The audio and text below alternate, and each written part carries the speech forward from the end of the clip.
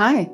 Letzthin beim Einschlafen schaute ich ein wenig zurück auf mein Leben. Mir fielen so einige Situationen ein, in denen sich meine Neurodivergenz, also in meinem Falle die ADHS und der vermutete Autismus, doch relativ deutlich zeigte, meiner Meinung nach. Und heute teile ich einiges davon mit euch. Das ist mal Teil 1 einer vielleicht langen Serie. Mal schauen, wie viele Folgen es gibt. Also, Nummer eins, meine extreme Chaotigkeit. Ja, das ist jetzt ein Wort. Und ich würde sagen, das ist alles sicher mal eher klassisch ADHS. Ich habe so viel verlegt, vergessen, nicht mehr gefunden. Stundenpläne nach Hause bringen war zum Beispiel eine riesige Herausforderung. Und meist hatte ich sie entweder nicht mehr oder ich wusste nicht mehr, welche Woche welche war. Aber mal, sorry. Welcher Sadist erfindet alternierende Stundenpläne? Auch Hausaufgaben aufschreiben klappte leider oft nicht. Und wie oft musste ich dann andere anrufen, um nachzufragen, ob wir was aufhaben und was wir aufhaben. Und leider wurde ich da auch schon mal verarscht von anderen.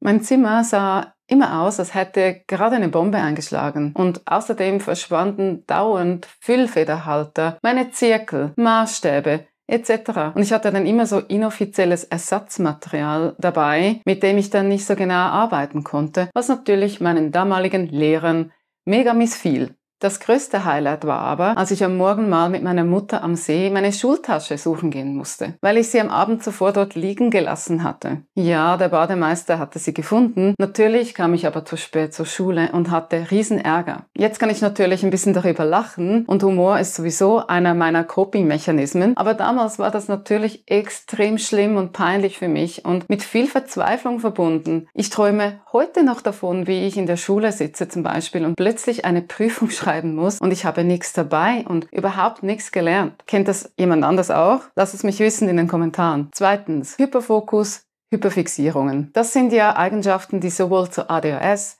als auch Autismus passen können. Es ist ja ein Stück weit normal, als Kind so in Phasen zu stecken, auch weil es ja Trends gibt und so. Aber bei mir wenn ich mal etwas entdeckte, was ich wollte oder was mich interessierte, dann gab es nur noch das. Ich konnte nicht mehr richtig schlafen, ich konnte nicht mehr richtig zuhören, ich konnte nur noch von dem sprechen und ich las auch nur noch über das. Ein Beispiel waren Wellensittiche, dann Pferde und dann Hunde. Nummer drei: Zeichnen, um zuhören zu können. Vermutlich eher typisch für ADHS. Egal ob in der Schule oder vor dem Fernseher, ich habe immer was gezeichnet und gekritzelt, weil ich konnte mich nur so wirklich auf das Gesagte konzentrieren. Das glaubte mir einige Lehrer aber leider nicht. Auch in Calls und Meetings heutzutage zeichne ich noch immer extrem viel herum oder ich male irgendwie Häuschen aus, was leider auch schon als Desinteresse in die andere Person gedeutet wurde. Dabei ist es eigentlich das Gegenteil. Ich möchte euch zuhören. Viertens, talentiert, aber zu wenig Disziplin. Natürlich hat das nichts mit Disziplin zu tun, aber es wurde halt so eingeordnet von anderen Menschen. Ich hatte zum Beispiel ein ausgesprochenes Musiktalent, doch ich übte viel zu selten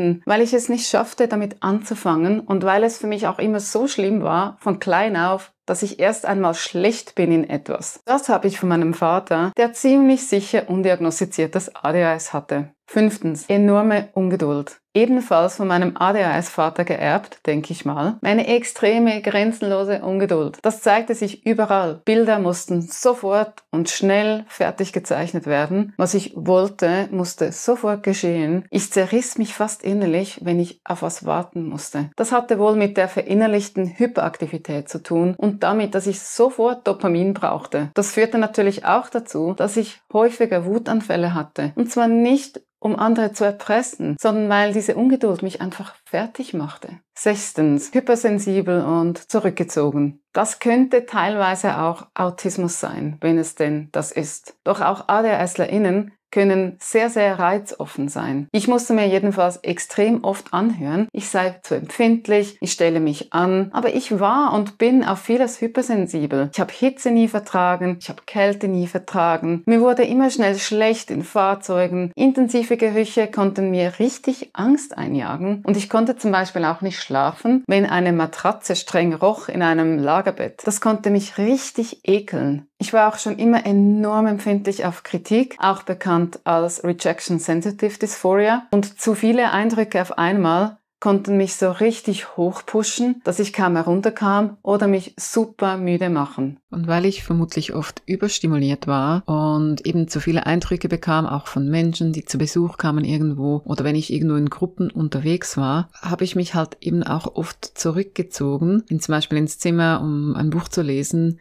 so quasi ein bisschen ohne groß was zu sagen. Oder ich habe mich aus Gruppen eben abgesondert und das wurde mir dann vorgeworfen, dass ich irgendwie nicht sozial genug sei. Dabei ging es ja darum, dass es mir dann wieder besser ging. Nummer 7. Meine Art zu spielen und zu interagieren. Das klingt alles eher nach Autismus, soweit ich das beurteilen kann. Aber natürlich kann es auch auf den unaufmerksamen Teil meiner ADS zurückzuführen sein. Ich habe viel lieber alleine gespielt. Ich verbrachte unglaublich viel Zeit in meiner eigenen Fantasiewelt in meiner regen Fantasiewelt. Häufig habe ich im Wald Hütchen für imaginäre kleine Zwerge oder Feengestalten gebaut. Und wenn mich jemand dabei erwischte, war es mir mega unangenehm. Und ich konnte auch niemanden damit einbeziehen, weil es in meinem Kopf alles logisch war. Und wenn jemand mitspielen wollte, ging das für mich irgendwie alles kaputt. Ich spielte auch lieber gerne neben anderen Kindern statt mit ihnen. Das nennt sich im Englischen übrigens Parallel Play. Oder ich schaute auch einfach oft anderen beim Spielen zu. Ich war im Kindergarten und in der Grundschule auch nie wirklich Teil einer bestimmten Gruppe, auch wenn es von außen so aussah. Ich kam eigentlich immer mit allen einigermaßen aus, aber halt oft auch nur, weil ich mich ein bisschen wie ein Chamäleon anpassen konnte bei jeder Gruppe. Nennt sich auch Masking. Meine Lehrer fanden mich darum immer sehr wichtig, weil sie sahen mich als Vermittlerin zwischen den Gruppen und quasi als der Kit, der Gruppen zusammenhielt. So wurde mir das teilweise auch gespiegelt. Für mich war das aber mega schlimm, nirgends so wirklich dazuzugehören. Und richtig enge Freundinnen, besser gesagt eine Freundin, hatte ich halt einfach nur außerhalb. Nummer 8. Nicht verwunderlich. Ich hasste die Schule. In der Grundschule war es für mich extra schlimm. Ich konnte nie verstehen, wie sich andere so darüber freuten. Im Nachhinein klar, denn ich hatte viel mehr soziale Schwierigkeiten als andere. Es fühlte sich oft an wie ein einziger Spießrutenlauf. Ich hatte Angst, auf Gruppen zuzugehen, vor Leuten zu sprechen ausgelacht zu werden, was ich teilweise auch wurde. Ich hatte aber auch eine ziemliche Mobbingklasse, muss ich sagen. So schlimm, dass ein Lehrer mal intervenieren musste. Ich klagte deshalb auch oft über Bauch- und Kopfschmerzen, um nicht hingehen zu müssen. Und ich hatte das aber auch oft wirklich, eben weil ich so Angst hatte. Gott sei Dank hatte da meine Mutter eine gute Antenne und erlaubte mir immer wieder mal zu Hause zu bleiben. Neuntens, Synästhesie. Nein, das hat jetzt nicht direkt was mit Autismus oder ADHS zu tun. Synästhesie ist eine eigene Neurodivergenz mit vielen unterschiedlichen Ausprägungen, kann aber auch gerne mal mit ADHS oder Autismus kommen. Bei mir ist es Wochentage, Zahlen oder Musik in Farben, auch in bewegenden Farben zu sehen. Ich dachte ja die ganze Zeit, das sei das völlig Normales und dass das alle hätten, weil meine Mutter es eben auch hat. Und andere fanden mich einfach sehr weird wenn ich sagte, dass der Monat Juli zum Beispiel hellgelb ist für mich. Im Nachhinein irgendwie verständlich, wenn man das selbst nicht kennt. So, das wäre es mal für heute, sonst wird das viel zu lange. Lasst mich wissen, ob euch da was bekannt vorkommt davon oder was bei euch vielleicht unerkannte Zeichen waren. Wenn ihr mehr zu meiner Diagnose erfahren möchtet, schaut gerne hier rein oder wenn ihr mehr zu meinem Verdacht auf ADHS erfahren wollt, dann schaut euch dieses Video an. Liked mein Video auch, wenn euch das gefällt, schenkt mir ein Abo, wenn euch das alles allgemein gefällt. Schreibt euch für meinen Newsletter ein, der bald wieder erscheint, sobald ich meine technischen Probleme gelöst habe. Folgt mir auch gerne auf meinen Social Media Kanälen. Das alles ist unten in der Beschreibung. In diesem Sinne, vielen Dank fürs Reinschauen. Tschüss!